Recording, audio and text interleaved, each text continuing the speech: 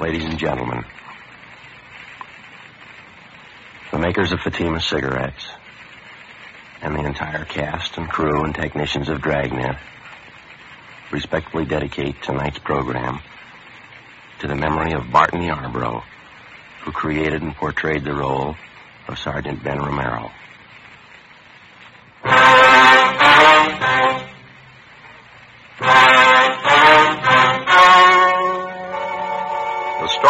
Story you are about to hear is true.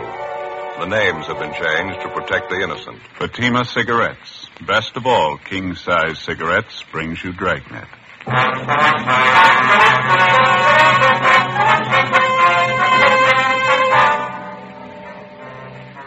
You're a detective sergeant. You're assigned a robbery detail. Two convicts escaped from a nearby state penitentiary in the early morning. According to reports, they're heading for your city. They're both armed. They're both dangerous. Your job? Get them. Fatima, America's first, largest selling blended cigarette. Now king size. See the difference. Taste the difference. Smoke the difference. And in Fatima, the difference is quality. Yes, you get all the advantages of extra length, plus Fatima quality, which no other king size cigarette has. Fatima quality that gives you extra mildness, a much different, much better flavor and aroma. Definitely the best quality in its class, but the same price as the cigarette you're now smoking. So compare Fatima yourself today. When you see the difference, taste the difference, smoke the difference, you'll switch to Fatima. Because in Fatima, the difference is quality. Ask your dealer for Fatima in the bright, sunny yellow pack. Fatima, best of all king size cigarettes.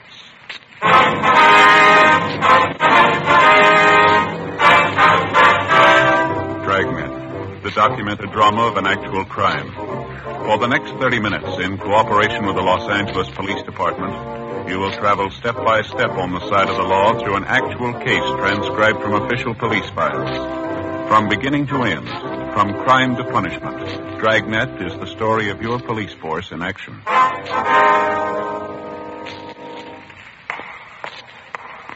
It was Saturday, April 24th. It was hot in Los Angeles.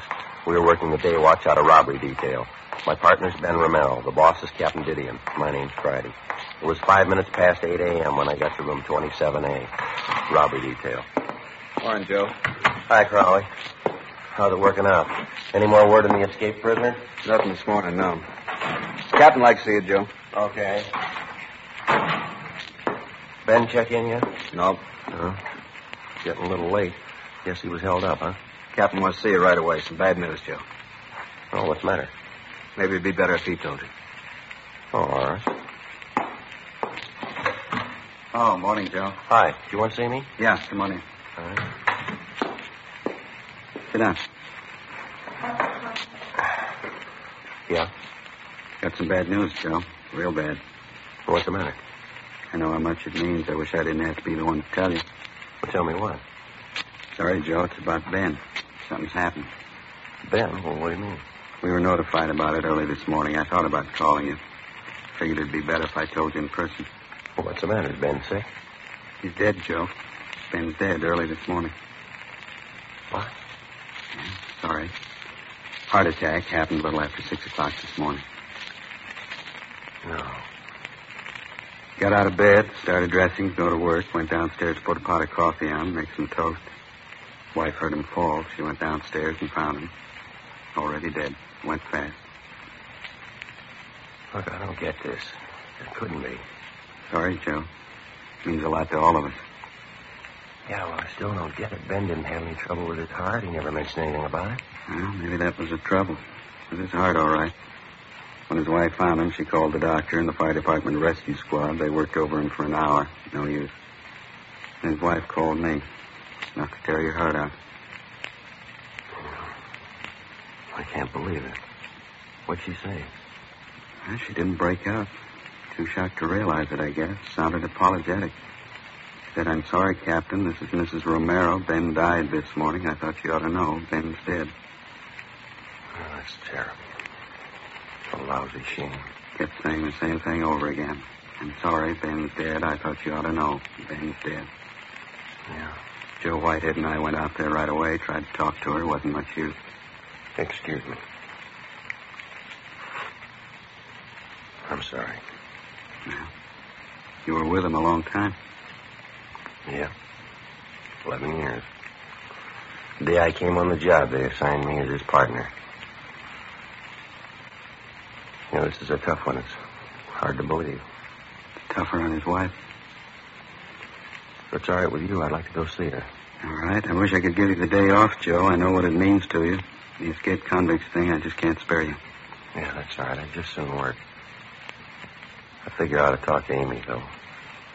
Might help to take the edge off it for maybe. Sure. Go ahead. Joe? Yeah. I know what it is. I've been on the job 19 years, lost two partners, good cops. One of them was killed in the line of duty. The other one worked at his job until he dropped. It's the same thing, Joe. Yeah. In my book, they both rate medals. I left the office and went down in the elevator alone. I got in the car and I started over for Ben's place. I thought about what I was going to say to his wife. I thought about his little boy. I thought about Ben. Eleven years I'd been working as a cop. And all of a sudden it wasn't the same anymore. I thought about the first day I met Ben. I was a rookie. I remembered what he taught me about being a cop. I thought about how much I owed him. I thought about the thousands of cops just like him all over the country. The ones that came before us, the ones that'll take our place. I thought about their lives and their homes and their families, what they meant, what their jobs meant. I thought about Ben. Eleven years. Stakeouts, the early morning watch, interrogations, office duty, you could cover it in volumes or you could write it on the back of an envelope. He was a good cop and he was a good friend. There wasn't much else to say. It was a big loss. I stayed at Ben's house for about an hour talking to his wife. Joe Whitehead from the medical detail was there. All things considered, she seemed to be taking it fairly well. I told her I'd drop around later in the day, and then I checked back in at the office for work. Temporarily, Sergeant Ed Jacobs was assigned to work with me. The big problem at the moment was a pair of escaped convicts. Jacobs and I drove out to run down on a possible lead. 11.05 a.m., we got to the address listed, the Cathedral of St. Augustine. We checked in at the rectory, and then we went around to the church.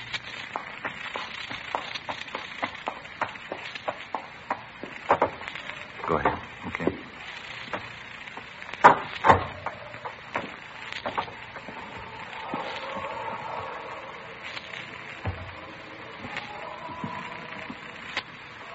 Sure a beautiful church, isn't it? Yeah, a nice choir, isn't it? Wonder if they're holding services. No, choir's probably just practicing. You see the priest around anywhere, Ed? Oh, yeah, there's someone over by the side altar there. Looks like the padre. Yeah, come on. Easter hymns. Sure pretty, aren't they? Yeah, they sure are. It really takes me back. You'd never believe it, Joe. What's that? I used to be a boy tenor. Uh, excuse me, please. Yes? Are you Father Newman? Yes, that's right. Can I help you? Police officer's father. I see. This is my partner, Sergeant Jacobs. My name's Friday. Oh, thank you.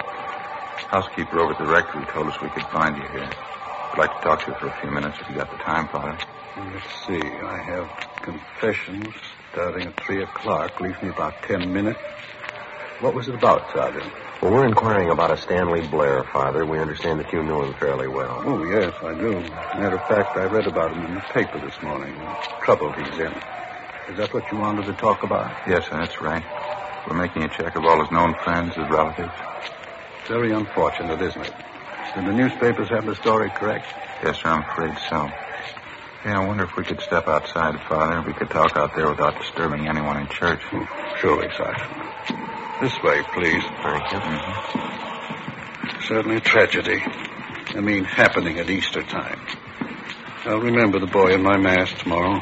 Lord knows he can use some prayers. Yes, sir, I guess he can.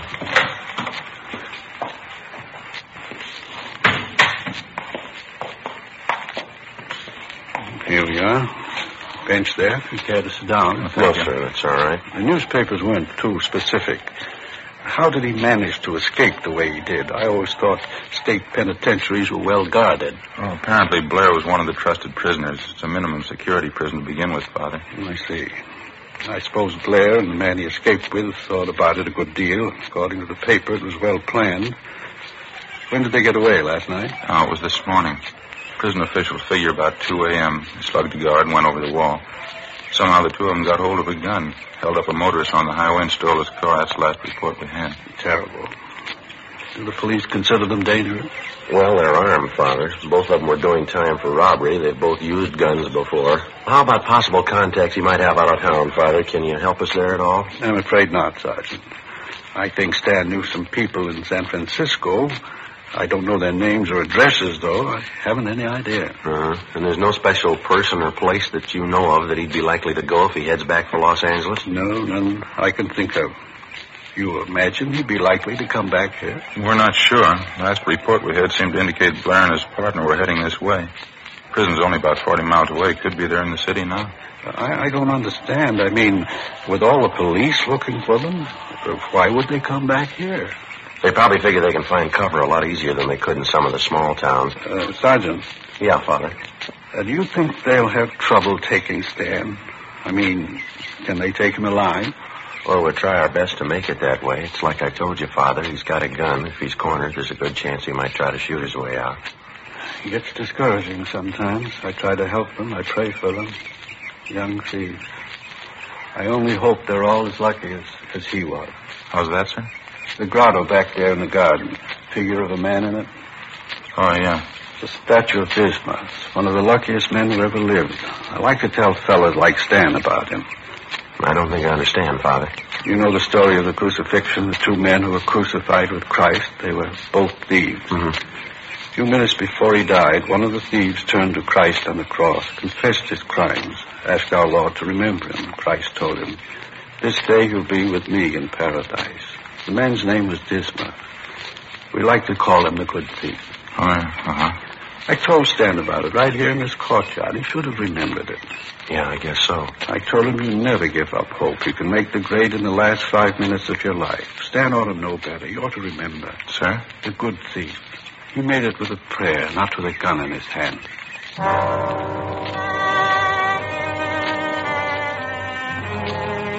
Before we left Father Newman, we gave him our card, and he gave us a list of eight names and addresses, people in the neighborhood who'd known the escaped convict, Stanley Blair, before he was sentenced to the state penitentiary to serve time on his robbery conviction. 3.15 p.m. We met with Sergeants Max Herman and J.E. Crowley from robbery detail. We divided the list of names in half, and we began checking them out. Ed and I didn't have much luck on our end. Most of the people we talked to told us that they knew Stanley Blair, but none of them had seen, heard from him, or knew anything about his activities or his family since Blair had gone to prison two and a half years before. Stakeouts were set up at two of the hottest places. 5.20 p.m. Ed and I went back to the office. Crowley was waiting for us. No, no luck on our end, The same thing. Last they heard of him was when he was sent up. I guess that finishes that. Any late reports at all? Yeah, his teletype from the sheriff's office. It was waiting here when Max and I got back. Guess our hunch was right. Looks like they headed this way. Well, how do you mean? Somebody spot them? Just this side of West Covina. Held up a grocery store, slugged the owner. Got $23.40. Not going to take him far. Descriptions match out? Yeah, perfectly. Suspects believed to be two prisoners who escaped this day from the California Institution for Men Chino. Stanley R. Blair, Wesley A. Russell. There's something else. Yeah? The grocery store they knocked over, they picked up another gun, the owner's.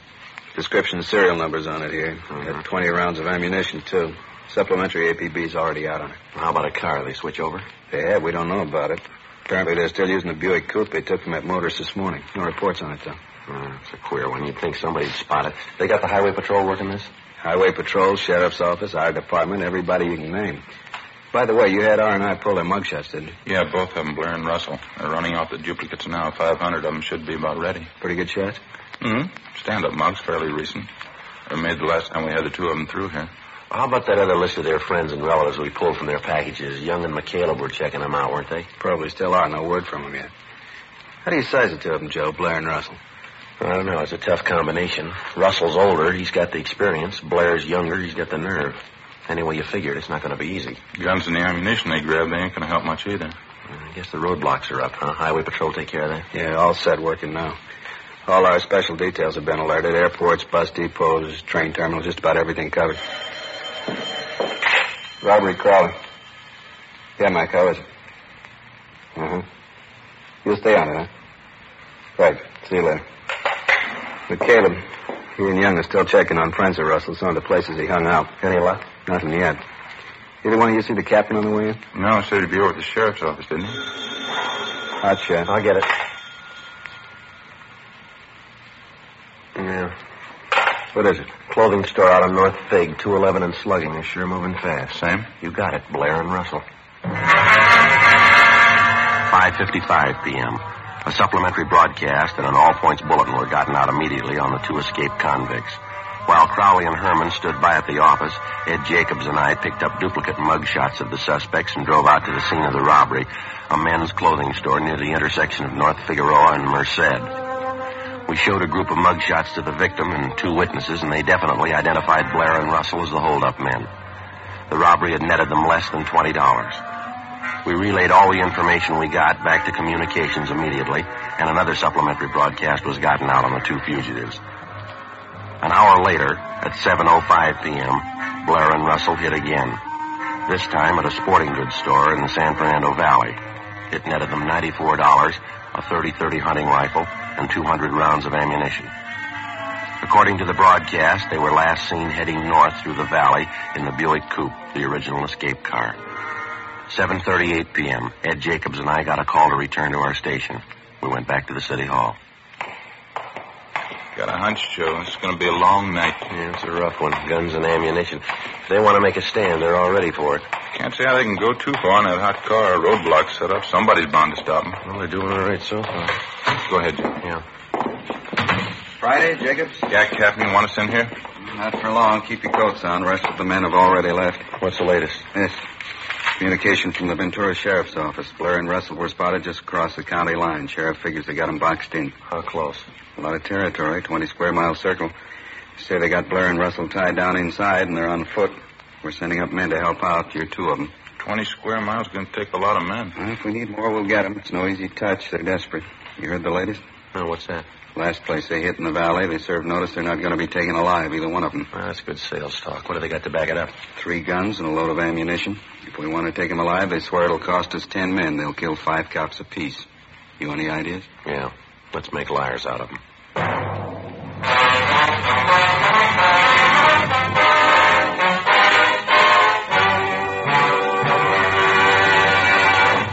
You are listening to Dragnet, authentic stories of your police force in action. Fatima, America's first, largest selling blended cigarette. Now king size.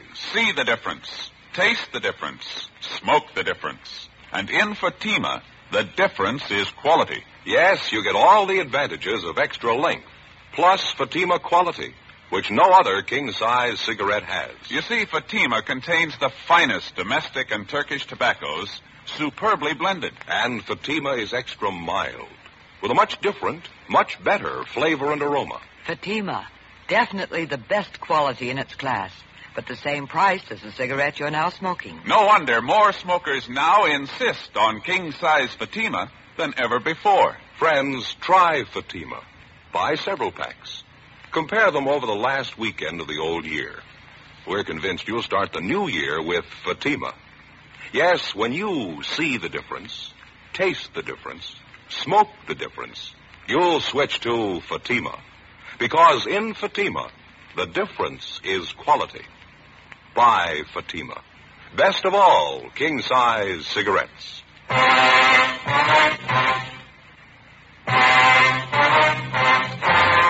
Saturday, April 24th, 9 p.m. Along with Captain Didion and a dozen other men from robbery detail, Ed Jacobs and I left the office and headed north up through the San Fernando Valley. The area where the two escaped convicts were reportedly surrounded was just on the outskirts of Ventura County line. On the way out, we stopped for a minute and I phoned Ben's house. His wife had been given a sedative and she was resting. Her folks were with her. 10:15 p.m. We arrived at the meeting point on the edge of the blockaded area from which the search was being directed. Communication facilities had been set up along with a field kitchen to feed the men taking part in the hunt. There were over 500 of them. From our office, the LA Sheriff's Department, the State Highway Patrol, the Ventura Sheriff's Department, and a couple of dozen private citizens who lived in the area. Together with Max Herman and Crowley, Ed Jacobs and I took up our position in the line of men that stretched north and east, then north again, circling the entire area. Twenty square miles of it. The line drew slowly inward. Twelve midnight. 1 a.m. No sign of the suspects. We stayed at it. You get no idea of the size of these hayfields till you start hiking them. Well, throw the light over there, will you, Ed? Irrigation ditch there. Right there? That it? Yeah. That's okay. It's a long hike. I'd sure like to see some of that hot coffee pretty soon. Yeah, same here. Nice setup they got, huh? That field kitchen? Yeah. Hey, Joe! Joe Brady! Yeah, Crowley. You got the riot gun, haven't you? Yeah, we got it. You want to send up another flare? Towards the clump of trees. Over this way. Light it up good, huh? Okay, Crowley.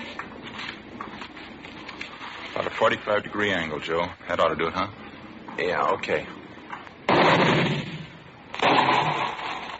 That ought to do it. Really lights it up, doesn't it? Well, you got any extra magnesium shells there, Ed? Yeah. Let me get one right here. Here you are. Thanks. There we go. Friday, that you? Yeah, Captain, over here. Uh, no use beating the brush here anymore. We're moving up three miles north. How come? Blair and Russell, they hit again, kidnapped an old couple from a farmhouse. They're still on foot? Yeah, as far as we know, they're hemmed in a two square mile area. They may try to break out, use the old couple for a shield. Well, where's that leave us? I don't know. You think they'd harm the old couple? They kidnapped them. They're desperate. You figure it. 1:45 a.m. All of the men in the search party were shifted north to the area where the two escaped convicts and their kidnapped victims were last seen. Two officers were sent to each farmhouse in the immediate neighborhood to make sure that the suspects and their victims were not hid out or that they were being held as hostages. The officers were ordered to remain at the homes in the event that Blair and Russell might try to find cover. The searching party moved in slowly over the affected area. We knew for certain the suspects were still somewhere inside. 2.15 a.m. Still no sign of them. The lines drew in closer. 2.30 a.m. Can't be much longer, that's sure. Yeah, well, I can't understand it. We should have jumped them by now. It's only a few hundred feet to go. There's the other line closing in toward us. Wonder if they could have slipped through. Beats me, Ed. Who's that coming? Can you see? Yeah, looks like Crowley. Yeah, huh? That's him. Joe, Ed, Yeah. Hi. Over here. You got any word? they found the old couple tied up in an irrigation ditch half a mile south of here. They all right? Yeah, they're okay. Old lady's forehead, bad head wound. She was slugged. She and her husband have been taken to the hospital. How about Blair and Russell? No word. Just heard the captain ask for the car with a loudspeaker. He's over there now with Sheriff Durley. Well, they couldn't have gotten through the lines. They got to be around here somewhere. Doesn't figure we combed every foot of this neighborhood. Attention all officers. Attention all officers. This is Captain Didion. Return to your posts immediately. The search has been canceled. The search has been canceled. How about that? I don't know. Come on, let's find out. There he is, just getting out of the car. Captain? Yeah. What's the matter? Are we giving it up? No, maybe we've been going at it backwards. We've been trying all night to jump them. Got a new idea. Yeah. Maybe we can make them jump us. 2.48 a.m. Captain Didion and Sheriff Durley ordered the men to return to the sheriff's office. With the exception of two deputy sheriffs, Captain Didion, Sheriff Durley, and Ed Jacobs and myself, the rest of the searching party vacated the area. The plan was to give the general impression that the search had been called off in the hope that it might bring the suspects out in the open. Because of the darkness and the early morning fog settling over the terrain, we knew that the odds were all against us. Captain Didion and Sheriff Durley decided instead to try and lure Blair and Russell from wherever they were hiding out. Each of the small farmhouses in the immediate neighborhood, eight of them in all, were already under surveillance. Each of the occupants were requested to park their cars in a conspicuous place outside their homes with the distributor heads removed. They were asked to turn all the lights off in their houses. In the event they heard anyone trying to start their cars, they were to remain indoors. Ed Jacobs and I were assigned to cover two of the houses. The other men covered the rest of them. The two houses that Ed and I were assigned to cover were separated by about 500 yards. We staked out in between the two of them. We waited. 4 a.m., 4.30. Sure cold, huh? Yeah. Fog goes right through you. We're going to be getting light pretty soon. Well, Joe, I just remembered. Yeah, what's that? Easter morning. Wonder how long this is going to go. I promised to hide Easter eggs for the kids today. Well, if it's going to break, it has to break soon. Be daylight in a half hour or so, and they won't have a chance then. Wait a minute. Farmhouse down on the left? Yeah, sounds like it. Come on. Can you see the car? Wait a minute. Yeah. You cover the passenger side. I'll come up on the driver's side. And watch it. Joe, hustle. They're getting out of the car. All right. Hold it up. Police officers. Watch it, Joe. Blair. Russell. You haven't got a chance. Throw down the gun. All right, Ed. Let's give it back. Hey, don't shoot, don't shoot. Throw out the guns. Come toward us with your hands open. Don't shoot, West. Do what they say. Come on out. Don't shoot, West. All right, come on. Keep coming. That's far enough. All right, cover him, Ed. I'll shake him down. Yeah. We'll break him. Look out, Joe. All right.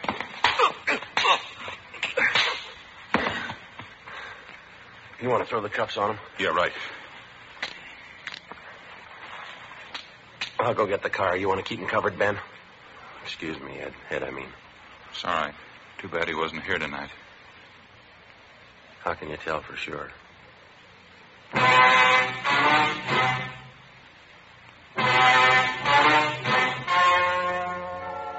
The story you have just heard was true.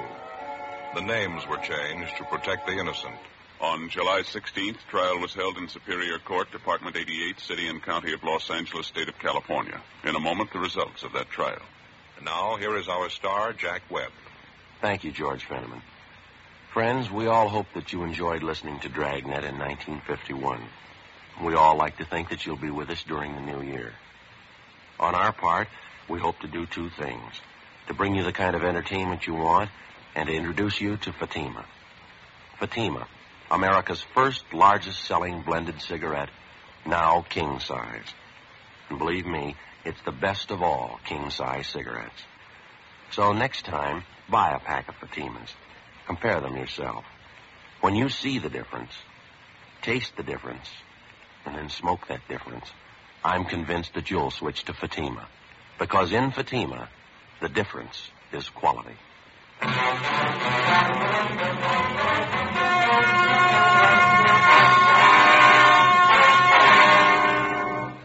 Stanley Blair and Wesley Russell were tried and convicted on three counts of first degree robbery and one count of kidnapping. They received sentences as prescribed by law. First degree robbery is punishable by imprisonment from five years to life. Kidnapping is punishable by imprisonment for not less than one nor more than 20 years. One count of escape is still pending.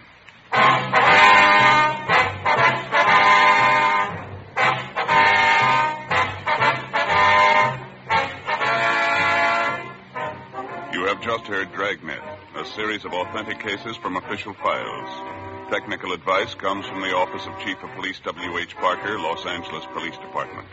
Heard tonight were Barney Phillips and Vic Perrin. Script by Jim Moser. Music by Walter Schumann. Hal Gibney speaking. Fatima Cigarettes. Best of all, king size cigarettes has brought you Dragnet.